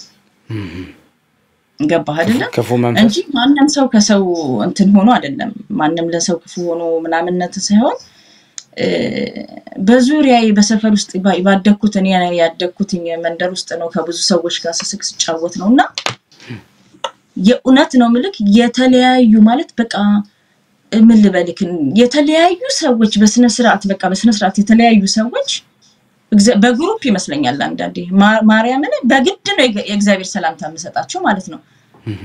እና ለራሴ ግን ምን አድርጊ ለምንድን ነው ለራሴ በጣም እጠይቃለሁ። እና አንዴ ገዳም ቦረዳ ገዳም ሄጄ በህልሜ ህልም አየሁና በጣም ገረመኝ፣ እጅግ በጣም ገረመኝ። እና የሚገርምክ እግዚአብሔር ምስክሬ ነው እነዛ የምገምታቸውን ሰዎች እኔ እንዴትም እንዴት እንዳሰብኳቸው አለ እነዛን ሰዎች በር በራቸው ላይ ነው ወስዶ ያሳየኝ እና ደነገጥኩኝ እና አረ ባህታዊ አልኳቸው።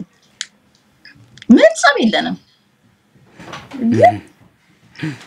ሰላም ስላቸው በግድ ነው ሰላም የምላቸው። ጸብ የለንም።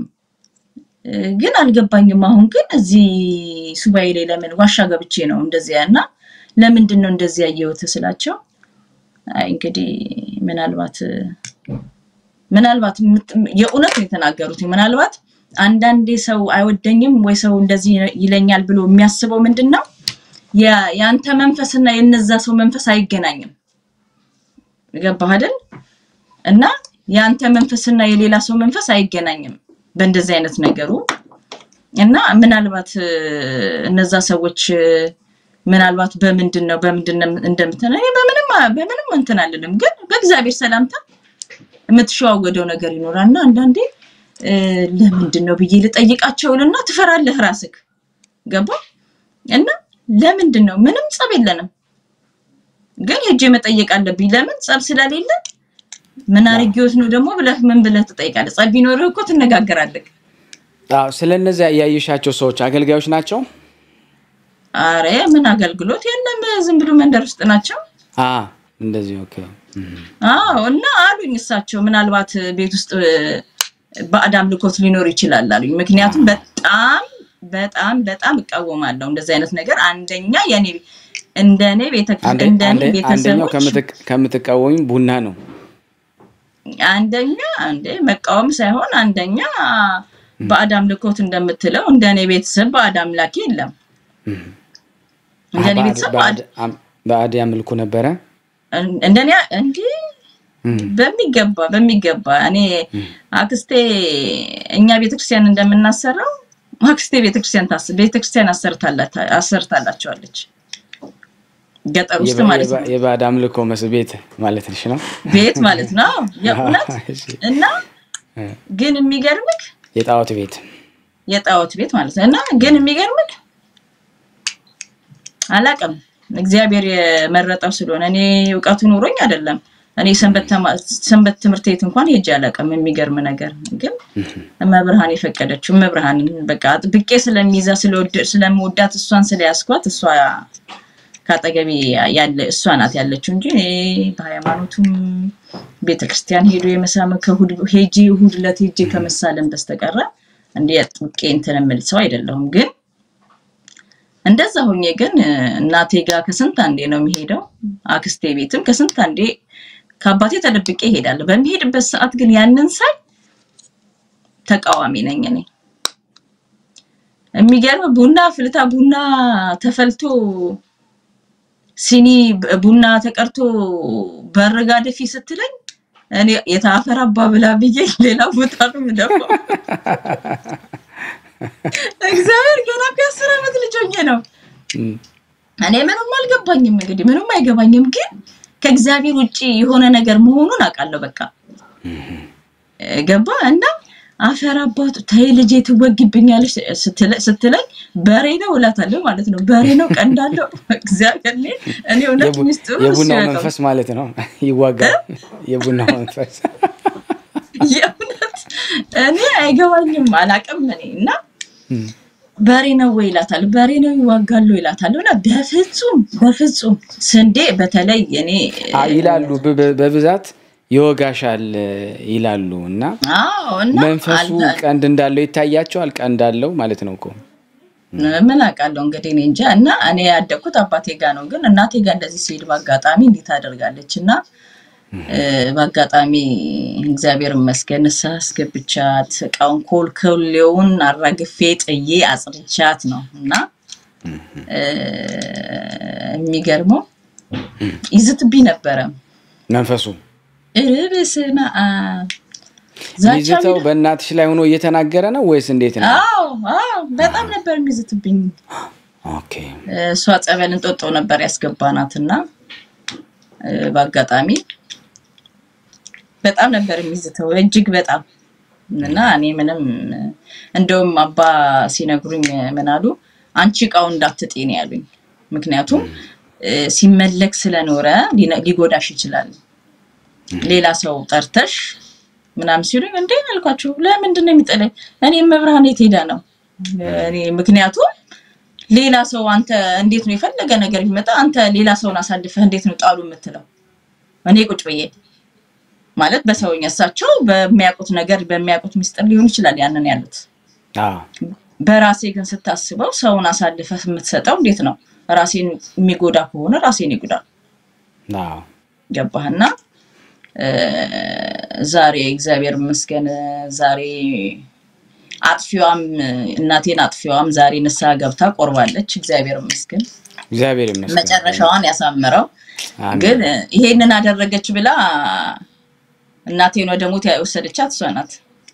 ጣለችው ብላ መጣሏን ሰምታ ማለት ነው ጎረቤቷና እያየኋት እያየኋት የረገጠችውን አፈር ነው የወሰደችው። እናቴ ንስሐ አስገብቼ አምጥቻት ሰፈር ውስጥ ይቅርታ ይቅር ትባባል ተብሎ ልትቆርብ ምናምን ሁሉ ነገር አዘጋጅቼ ሰፈር ውስጥ መተን ቁጭ ብለን መጣች። የተቀመጠችበትን ቆማ የተቀመጠችበትን መታ አፈሩን የወሰደችው። እግዚአብሔር ምስክሬ ነው። ማታ ሽባ ሆነች፣ ሽባ ሆነች፣ ሽባ ሆነች። አልጋ ላይ ቀረች እናቴ አልጋ ላይ ቀረች። በቃ ራሷን ስታ አልጋ ላይ ቀረች። እኔ አንስቼ አንጠልጥዬ መልሼ እንጦጦ ማርያምን የወሰድኳት ትኖሪያታለሽ ብላ ነው በአፍ በቃል በቃል ትኖሪ ይመስሉሻል ብላ ነው የሄደችው ማለት ነው። ግን ያው ስራውን ሰራ። ምክንያቱም የፈለገ ነገር ስት- ስትገብረው ስለነበረ አንደኛ እኔም ስለወሰድኳት ምናልባት ቆርጣም ላትቆርጥ ትችላለች። ገባ እሷንም እሷም ምክንያቱም አንዳንዴ ሞኝነት በሞኝነት የምናልፈው ነገር አለ። አንዳንድ ሰው ያልተነካ ገለገለ ያውቃል አለ እኮ እሱ ተቆጣጥሮ ማናችንም ያልተቆጣጠረው ሰው የለም። ምክንያቱም ከዘርዘር ነው። አንተ ባትፈልገውም ከዘርዘር ይመጣል ደም ሲገበር ስለነበረ ግን ዛሬ እኛ አይደለንም ደካሞች። አባቶቻችን እንኳን እኮ አጋንንት በገሃድ እየመጣ ይፈትናቸዋል። ቀን ከሌሊት እየጾሙ እንኳን የሚፈትናቸው ነው እድሜ ልክ ማለት ነው። እና አንዳንዴ ምን ስልጣን ስላለው ይሉሃል። ምን ስለሆነ ይሄ ይሄ አያዋጣም። እሱ ራስን ማታለል ነው። ራስን ማታለል ነው። ምን ስልጣን ስላለው ነው ኢየሱስ ክርስቶስንስ የፈተነው? አታያቸው? በቃ ይኸውልህ በቃ እና ምን ስልጣን ስለሆነ ነው ምን ስለሆነ ነው በእውነት እንደዚህ ብለው ይላሉ። ግን ያ አይደለም። በሚስጥር አንተ እግዚአብሔርን ይዘህ ማሸነፍ ብቻ ነው እንጂ ጠላት በሰው ነው። ጠላት ደግሞ ጠላት ራሱ አይደለም የሚመጣው፣ ሰውን ነው የሚያስነሳብህ። በሚወድህ ሰው በቤተሰብህ ነው የሚመጣብህ የሚያስነሳብህ። ስለዚህ ያንን ደግሞ መቋቋም ችለህ ተቋቁመህ ሁሉን ነገር አልፈህ እኔ እንጃ እኔ እዚህ ጋር ቆማለሁ እዚህ ጋር እገኛለሁ አላውቅም። እኔ እግዚአብሔር ያደረገልኝን ነገር የእውነት እኔ ተናግሬ ተናግሬ ተናግሬ አልገልጸው የእውነት እና አዎ። በዚሁ አጋጣሚ እነሱ አሁን ይህንን ፕሮግራም የሚከታተሉ በጣም ብዙ ሰዎች ናቸው። ቅድም እንግዲህ አንስተሸዋል። አንዱም የቅዱሳንን ዝክር የዛሬ ዘጠኝ ዓመት ነው የጀመርኩት። በፌስቡክ የሚያውቁኝ ያውቁኛል። ከዛ በኋላ ነው ከብዙ ጊዜ በኋላ ነው ወደ ዩቲዩብ የመጣሁት እና መነሻዬ እናቴ ነች። የቅዱሳን ዝክር እንዳቀርብ በድርሳነ ሚካኤል ነው የሚጀምረው።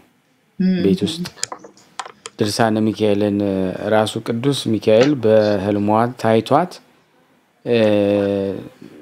ድርሳነ ሚካኤልን አታውቅም። ድርሳነ ሚካኤል ምንድን ነው አታውቅም። እና ካህኑን ሄዳ በመጀመሪያው እንዳየች ሄደሽ ይህን ሲላት ስላልገባት ከዛ በሚቀጥለው ቀን እንደገና ደገማት። ሂጂና እንዲህ የሚባለውን ቄስ ሄደሽ ድርሳነ ሚካኤልን እፈልጋለሁ ብለሽ ጠይቂው አላት። በጣም እጅግ የሚገርማችሁ ነገር ማለት ነው እና ሄዳ ይሄንን ድርሳነ ሚካኤል ይዛ መጣች። እሷ ማንበብ ይላል መጽሐፉ፣ ድርሳኑ ራሱ ማንበብ የሚችል ሰው ራሱ ያንብብ፣ በንጽህና ቃላቱን እንዳያገድፍ አድርጎ ያንብብ። ካልሆነ ግን ደግሞ ይህን ማንበብ የሚችሉ ሰዎችን በማምጣት እ፣ ያድርስ ይላል።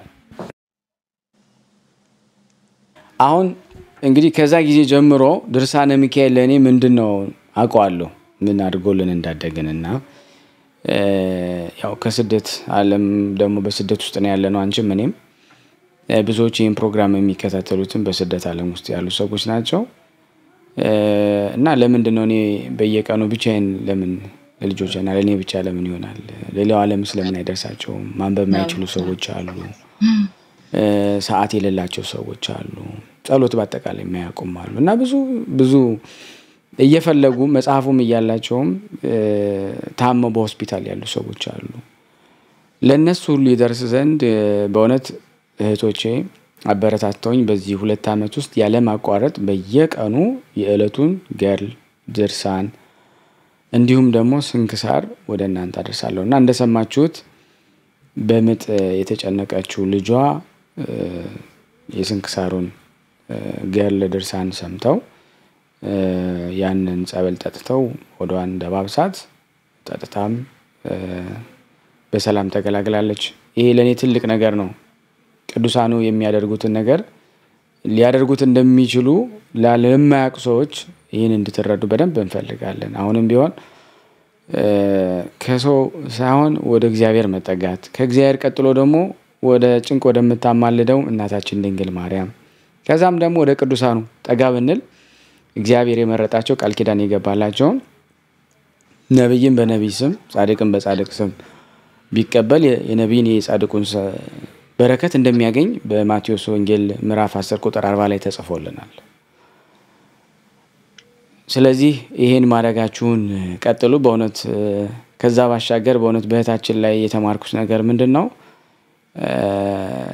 ኑና መስክሩ ነው የተባላችሁ። አሁንም ምናልባት ይሄ ምስክር ይቀጥል ነው ከእግዚአብሔር ጋር ይህ ምስክር ለዓለም ይደርስ ዘንድ እኔም እንግዲህ ወገቤን ታጠቄ እቀጥላለሁ። እናንተ share በማድረግ like በማድረግ አንዳንድ material ኦችም የሚያስፈልገኝ ከሆነ ታግዙኛላችሁ የተስፋ አደርጋለሁ። ምክንያቱም አገልግሎት የጋራ ስለሆነ በዚህ አገልግሎት መከፈል ያለበትን መክፈል አለብን።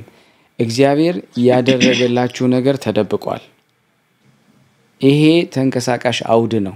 ለዛውም በአንድ ቤተ ክርስቲያን ቢበዛ በአሁኑ ሰዓት አንድ ሺህ ሰው ቢኖር ነው፣ እሱም ከተገኘ ነው። በዚህ ግን በእውነት ብዙ ሺህ ህዝብ ነው እየሰማ ያለው እና ይህም ምስክርነት ሳታቀሉ የትም ሀገር ብትኖሩ በስልክ ቁጥሬ 0041 77 977 46 32 ብላችሁ ብትደውሉልኝ እንደዚሁ ሜሴጅ ብትጽፉልኝ አየዋለሁ። ስራ ይበዛብኛል፣ ግን እንደምንም አስተናግዳለሁ።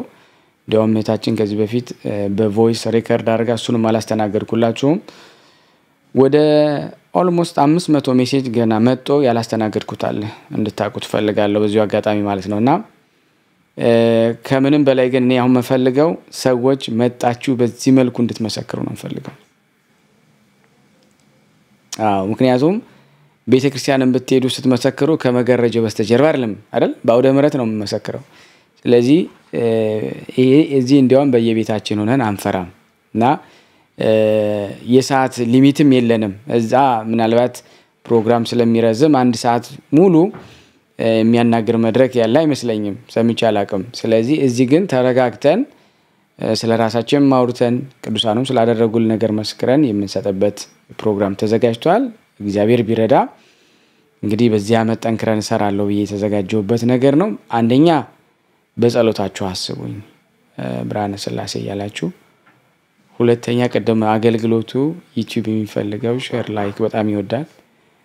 እሱን እንድታደርጉ እንደዚሁም ደግሞ በሚያስፈልገው ነገር ሁሉ ከጎን የሆናችሁ እንድትቆሙ ሁላችሁንም እለምናችኋለሁ።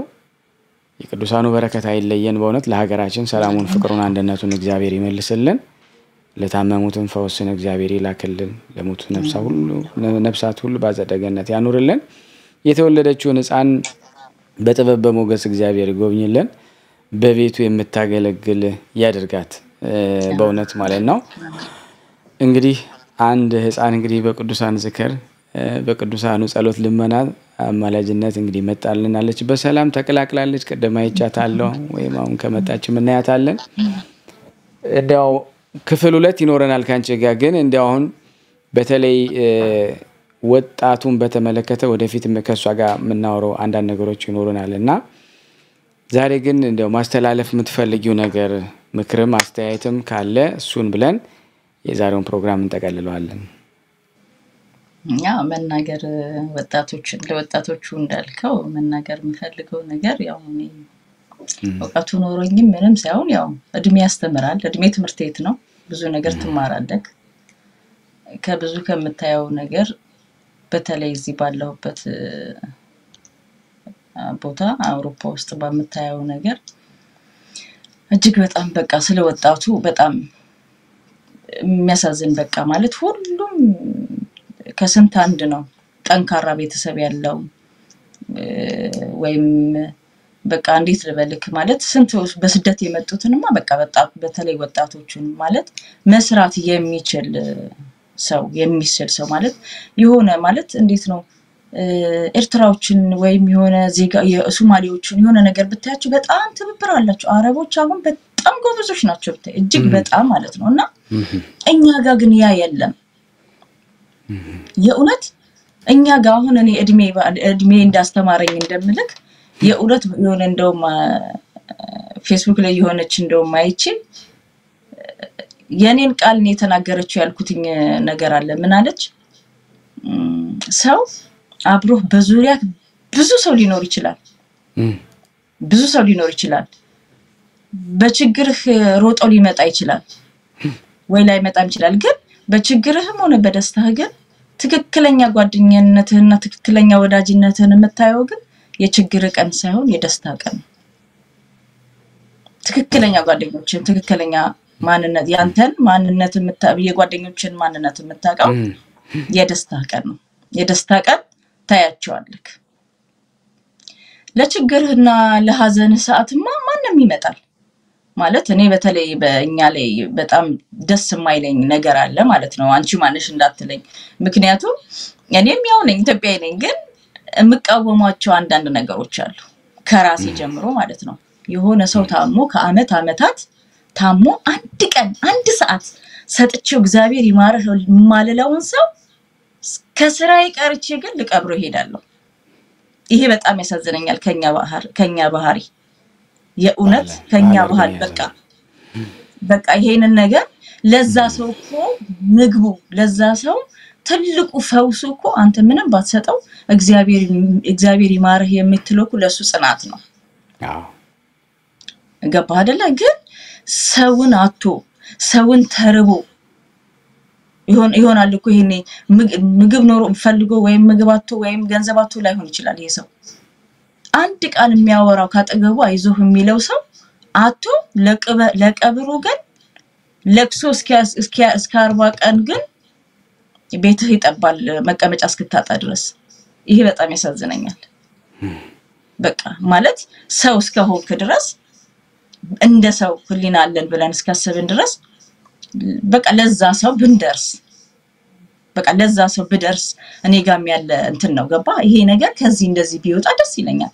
ማለት ማድረግ ያለብኝ ነገር በቃ ያን ሰው እንዳቅምክ ረተው ወይም አቅም ከሌለህ ደግሞ መስጠት እኮ ግዴታ እኔ ለአንተ ወይም ለተደረ- ለተቸገረ ልሰጥ እኮ ግዴታ እኔ ባለጸጋ መሆን አይጠበቅብኝም። እንደውም ባለጸጋማ ተርፎት ነው የሚሰጠው። እንደውም ከዛ ቦታ መቆጠር ማይጠ እንደውም መስጠትን እግዚአብሔር የሚያስብልህ በሌለህ ነገር ስትሰጥ ነው እግዚአብሔር የሚያስብክ እና ለመስጠት እጃችንን ይይዘናል።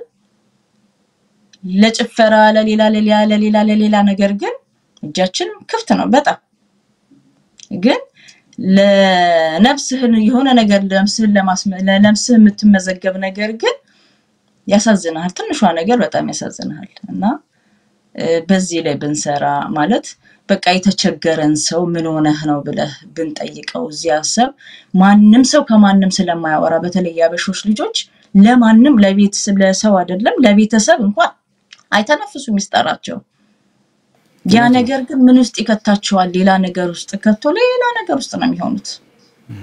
ገባ ከኔ እግዚአ- ከእግዚአብሔር ጋር ተጣብቄ ሁሉ ነገር እንደኔ ስራ ማለት ፎቅ፣ መኪና ወይም ቤት መስራት መኪና ቢያምረኝ እንደፈለግኩትን እሱን እሱን ብል ኖሮ ዛሬ እኔ ገንዘቤን ይይዛለሁ፣ መኪናዬን፣ ቤቴን እሰራለሁ። ልጆቼን ግን አላገኛቸውም ነበር። ጥንቅር ብሎ የቅር ብዬ ነው አስር የተነስቼ ብድግ ብዬ የሚሄደው ዋጋ እንዲሰጠኝ ነው። የዛሬን ዋጋ እንዲሰጠኝ ነው ፈጣሪ የማያሳፍር አምላክ ስላለኝ ማለት ነው። ግን በቃ ያሉትን ነገሮች በብዙ ፈተና ሲመጣ በብዙ ነገር ያንን ነገር ግን ግድ መስዋዕት መክፈል አለብን። በቃ እኛ ችግራችን ምንድን ነው? የሆነ ነገር እየታገልከው ጸበል ሂድ ወይም የሆነ ነገር ሂድ ስትል ነገን ነገ ነገን ማውለ- ማውለድ ይችላል። በቃ ነገ የሚለው ነገር አለ። ገባ የሆነ ነገር ስትላቸው ነገ የሆነ ነገር ስትል ነገ የሚል ነገር አለ እና ያ ነገር ቢቀር ማለት የሆነ ነገር እኔ አሁን ስለመሄዴ እኔ ስምንት ወር ሄጄ እዛ ስቀመጥ ከባሌ ጋር ብዙ ነገር ብዙ ነገር ማለት እኔ እና እሱ ጋር ምንም ነገር ሳይኖር ከቤተሰቤም ከዚህም ብዙ ነገር ተብሏል። ተለያይተው ነው ስምንት ወር ስለቆየሁ ማለት እንዴት ስምንት ወር ይቆያል? ተለያይተው ነው ተጣልተው ነው።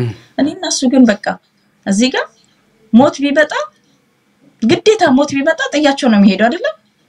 ስለዚህ ሊለየን የመጣን ሴጠን ግን ቅስሙን መስበር አለብኝ። በቃ ገባህ አይደለ? እኔ እዚህ ጋር ሆኜ በማይሆን ነገር እያዘንኩኝ እያየሁ ማለት ልጆችህ ያሌላቸውን ባህሪ እያየህ ከምትል ከነሱ ጋር እኔ በተለይ በጣም ልጆች ለደረሰ ልጆች የምናገረው ምንድን ነው ወላጆች ከልጆቻችሁ ጋር መጥፎ ነገር የሚያደርሰውን ነገር መጥፎ ነገር እንደሆነ ማሳወቅ ከዛ ውጭ ግን አይሆንም ይሆናል። ይሄ ወላጅ ነኝ ብለን አንዳንዴ የሆነ ቀጥታ ቀጥታ የምትለው ነገር አለ። በቃ አይሆንም አይሆንም፣ ይሄ አይሆንም፣ እንደዚህ አይነት ነገር አይደለም።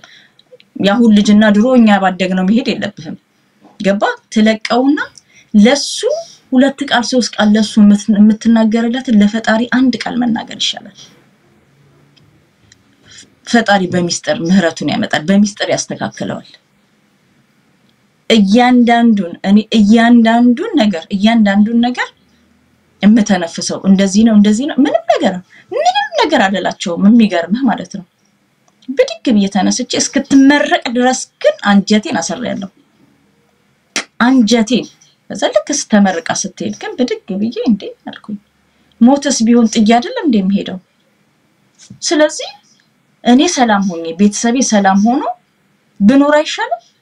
በቃ የሆነ ሰዓት ቆይተክ ብን- ለ- ለቤተሰቦቼ የሆነ ነገር እዚህ እነሱም ሌላ ችግር ውስጥ እኔም ሌላ ችግር ውስጥ ከምሆን እስቲ ሱባኤ ሄጄ ራሴ ጥፋተኛው ራሴ ከሆንኩኝ ራሴን ጎድቼ አስተዳደግ ላይ ምናልባት አስተዳደግ ላይ ምናልባት ባለጌ ከሆንኩኝ እስቲ እነሱም በብቸኝነት ይሞክሩት፣ እኔም ሄጄ የማስተካክለውን እስቲ ላስተካክል። ራሴን ልቅጣው ብዬ ነው ተነስቼ ሄድኩት ስምንት ወር እና ያን ሁሉ ጊዜ ግን ምንም በቃ የሚገርም ነገር ከጻዲቁ ጋር ነው የምጨቃጨቅ የነበረው። በቃ እርሶ በቃ እርሶ ተከተሉኝ ብዬ ነው የገባሁትኝ ሲጀመር ማለት ነው። እና እኔ ሲጀመር አላወቅኩም። እንግዲህ ነግሬ ከሆነ ስማቸውንም አላውቀውም። የጻዲቁ ስ- ስ- ሊሄድ የነበረው ጻድቃኔ ማርያም ነው እና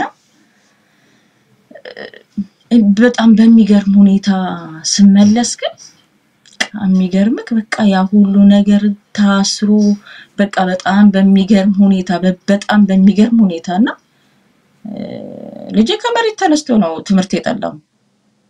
ከመሬት ተነስቶ ግን አሁን እግዚአብሔር ይመስገን አሁን ትምህርቱን ቀጥሎ ስራውን ጀምሮ ይኸው ሴቷም እንደዚህ ያው በቀናቸው በቀናቸው ነው እንግዲህ ሚስጥሩ የተጋለጠው እዛ ምስክርነት ላይ ተናገር ያለው እና ሁ- ያ ሁሉ ነገር የፈነዳው በማን ቀን ነው? በአቡነ ጨጌ ዓመታቸው ዕለት።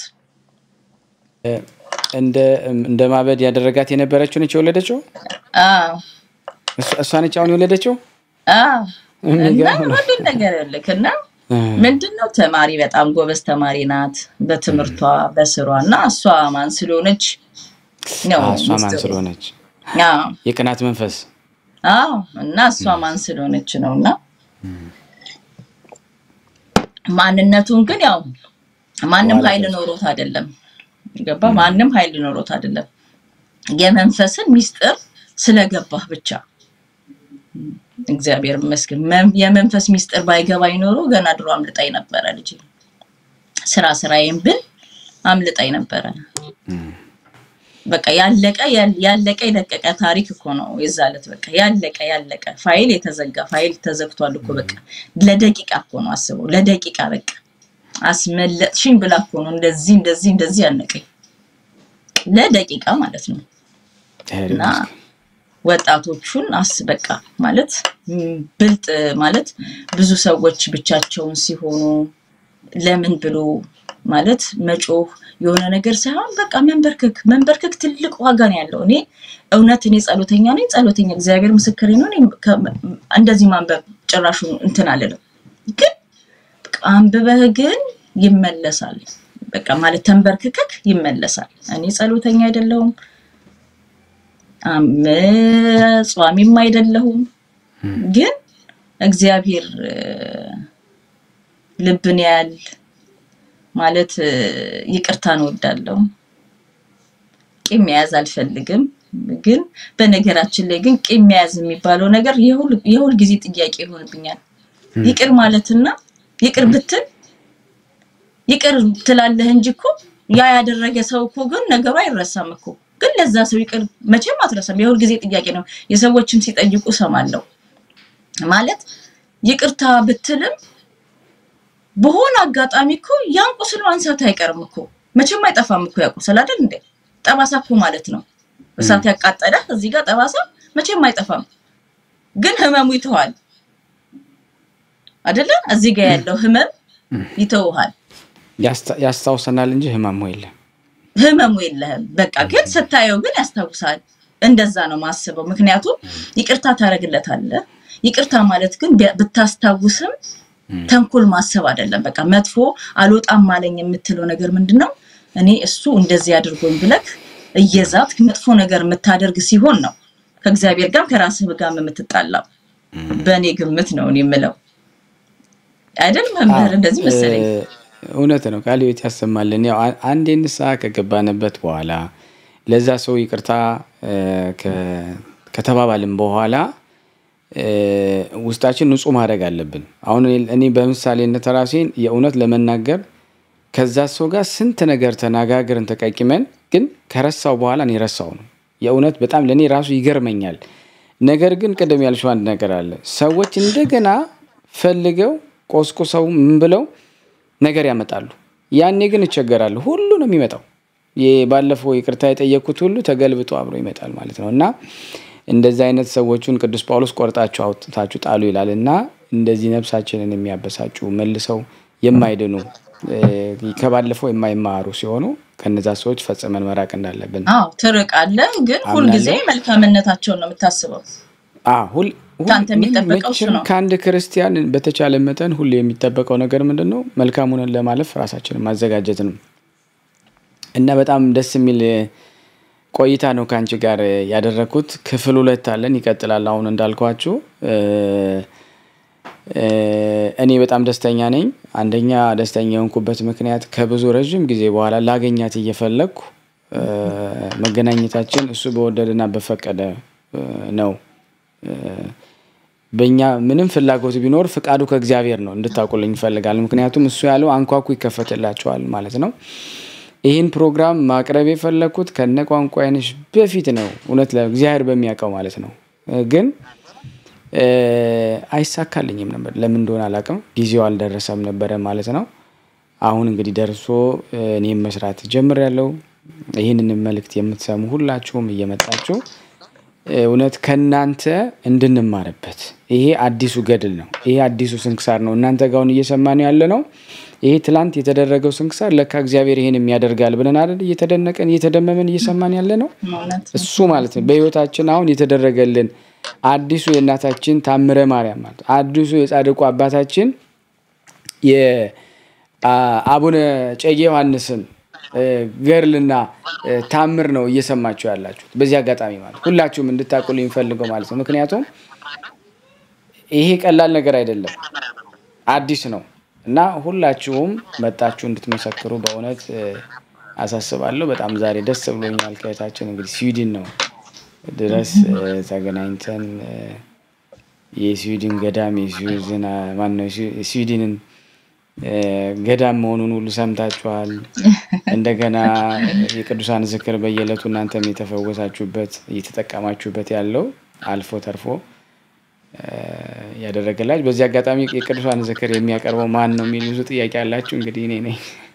ለማታውቁኝ ብዙ ሰዎች ታቁኛላቸው አውቃለሁ፣ ግን ምናልባት ለማታውቁ ማለት ነው። ጥሬን አክብረሽ በእውነት መጠሽ ከኔ ጋር ይሄንን የመሰለ ተአምር የተደረገልሽን ገድል እ፣ ስለመሰከርሽ በጣም ነው የማመሰግነው። ክብር ያደለልኝ ማለት እወዳለሁ። እንግዲህ በሚቀጥለው ክፍል ሁለት ገና ያልነገርናችሁ ይኖራል።